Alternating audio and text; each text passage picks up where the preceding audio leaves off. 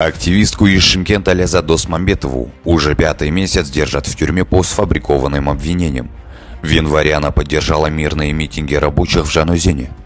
Теперь режим угрожает ей уголовными статьями за экстремизм и угрожает упрятать на годы в тюрьму. Вы имеете право на свободу слова. Вы имеете право на счастливую жизнь, свободной от диктаторского режима страны. Для лживого Тукаева Лязат одна из 20 тысяч террористов. Режим преследует своих критиков под прикрытием борьбы с экстремизмом. Но Лязат Досмамбетова, любящая мать четверых детей, воспитывала их в одиночку. Из них двое несовершеннолетние. 8 января в дом Лязат ворвался отряд сотрудников спецназа в бронежилетах и с автоматами и похитили ее. Ее и других активистов обвиняют в попытке захватить государственное здание – Лязат смелая и законопослушная женщина.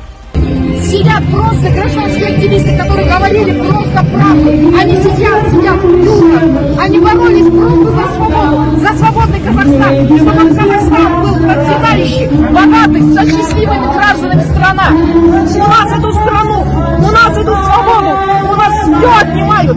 Свободу политзаключенным, они сидят просто за правду.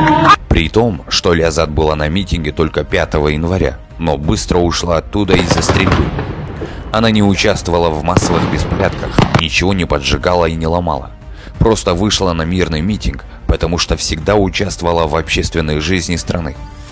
За это режим неоднократно сажал ее на 10-15 суток, а теперь ей грозит от 7 до 12 лет колонии. Я считаю, это абсурдное решение судьи. Позор такому судье. В заключении, Лязат без лечения страдает от головных болей и обострившегося остеохондроза. На жалобы Лязат прокуратура пишет отписки. Следственный суд продлил содержание под стражей еще на два месяца до 8 июня.